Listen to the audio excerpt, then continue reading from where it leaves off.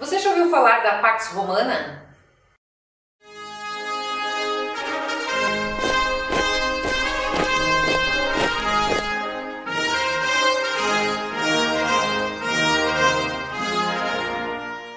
Foi um período no Império Romano em que foi criada uma falsa paz por meio de armas, para poder uniformizar o pensamento e a cultura nos territórios conquistados. O que poucos sabem é que vivemos hoje uma espécie de nova Pax Romana, não por meio de armas, mas por meio de ideias nefastas. A primeira tentativa dessa nova Pax Romana foi com a Liga das Nações no pós Primeira Guerra Mundial. Mas essa tentativa não deu certo. Então, em 45, formou-se a Organização das Nações Unidas, a ONU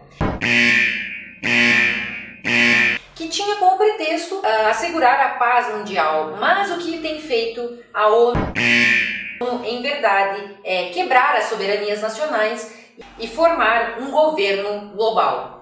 Mentes iluminadas querem ditar o rumo das nossas vidas. Há muito tempo eles vêm tentando implementar essas políticas globalistas. E agora, a última gracinha da ONU, o documento firmado em 2015, a Agenda 2030. Neste documento, teremos 17 objetivos a serem implementados em todas as nações, em todas as nações signatárias, que vão mudar completamente o rumo das nossas vidas.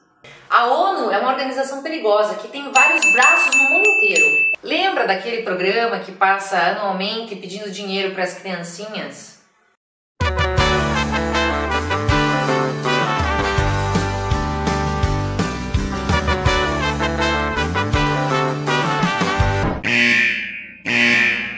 Pois é, isso aí é mais um braço da ONU. Cuidado, hein? Não faça sua doação. Só um minutinho que eu vou tomar um pouquinho d'água. Nós vamos falar aqui de um dos objetivos deste documento indecente que é a Agenda 2030. Objetivo número 1. Um, olha como eles são bonzinhos. Erradicar a pobreza. Objetivo 2. Erradicar a fome. 3. Garantir uma vida sustentável e bem-estar para todos. Amigos, agora nós vamos rebater um por um desses argumentos.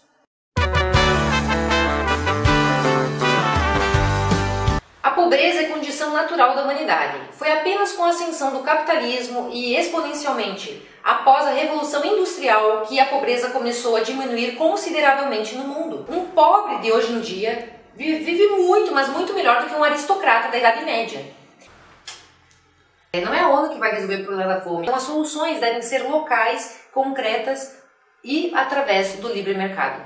Eles usam termos nesse documento como segurança alimentar e melhoria da nutrição. Isso é extremamente perigoso. Eles vão invadir o mercado com uma série de alimentos geneticamente modificados. Nem você nem eu poderemos mais escolher ou saber a procedência daquilo que estamos comendo. E você sabe qual o efeito que isso tem sobre a sua saúde? Na mentalidade globalista da ONU, modificar geneticamente os alimentos faz parte da estratégia. O terceiro objetivo da agenda da ONU é promover a, uma vida sustentável e o bem-estar a todos. Olha que maravilhoso, que bonzinhos que eles são. Quer promover o bem, seu bem-estar e o meu bem-estar. Agora vamos ver onde está a pegadinha.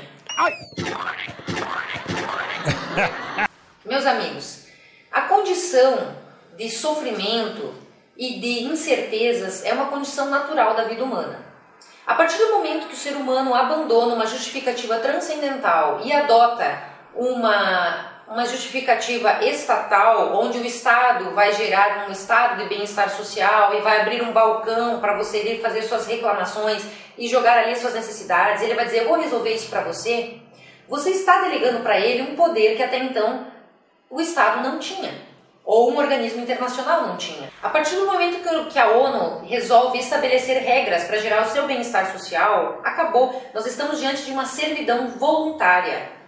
E você? Como é que você se sente sendo escravo? Gente, vocês podem achar aqui que eu estou exagerando com relação a esse, essa agenda da ONU, mas se vocês forem ler o documento inteiro, vocês vão ver que eles estão querendo estabelecer regra sobre absolutamente todos os aspectos da nossa vida. Sobre os alimentos, sobre o ecossistema, sobre o clima, sobre a forma de trabalho, sobre o que você consome. Enfim, sobre absolutamente tudo. Ou seja, nós estaremos em breve, até 2030, se ela for implantada, numa plena e repleta escravidão. E o pior, tudo isso está sendo decidido por pessoas que se acham mentes iluminadas, que acham que sabem o que é melhor para você, melhor para mim, São pessoas não eleitas que estão decidindo sobre todos os aspectos da nossa vida. Ou nós nos rebelamos contra isso, ou estaremos num admirável mundo novo. Vocês estão percebendo que nós estamos diante de uma nova Pax Romana? Só que agora nós não temos mais uh, uma guerra travada como nos moldes anteriores. Nós temos hoje organizações e corporações internacionais travando uma verdadeira guerra cultural e difusa contra os valores da civilização ocidental, contra o cristianismo, contra a família, contra os valores tradicionais. Quanto mais nós permitimos que organismos internacionais e o Estado intervenham na nossa vida e ditem as regras ou deem benefícios para nós, mais controle eles têm sobre a nossa vida e menos liberdade nós temos. Nós vivemos um período nefasto, nefasto. Nefasto. Tomemos cuidado com essas soluções coletivistas que resolvem todos os problemas do mundo. Ao permitir que isso ocorra, nós vamos perdendo cada vez mais o foco na individualidade, nos direitos individuais. Quando isso ocorre, nós vamos nos tornando massa. Para saber mais sobre a ONU, as fundações internacionais e a nova ordem mundial e também o projeto de dominação global, nós citamos os seguintes livros: Poder Global e Religião Universal. Também temos Contra o Cristianismo, a ONU e a União Europeia, como nova ideologia, e também temos os escritos, colunas, livros e vídeos do professor Olavo de Carvalho, que há décadas vem denunciando tudo isso. A ditadura perfeita terá a aparência da democracia, uma prisão sem muros na qual os prisioneiros não sonharão sequer com a fuga. Um sistema de escravatura onde, graças ao consumo e ao divertimento, os escravos terão amor à sua escravidão. Aldous Huxley. Curta, espalhe e é. compartilhe esse vídeo. Tamo junto!